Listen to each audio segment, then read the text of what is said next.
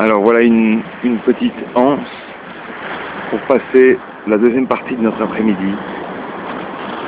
Après la sauvagerie du sud de l'île, voilà quelque chose de bien plus tranquille, en tout cas pour nager.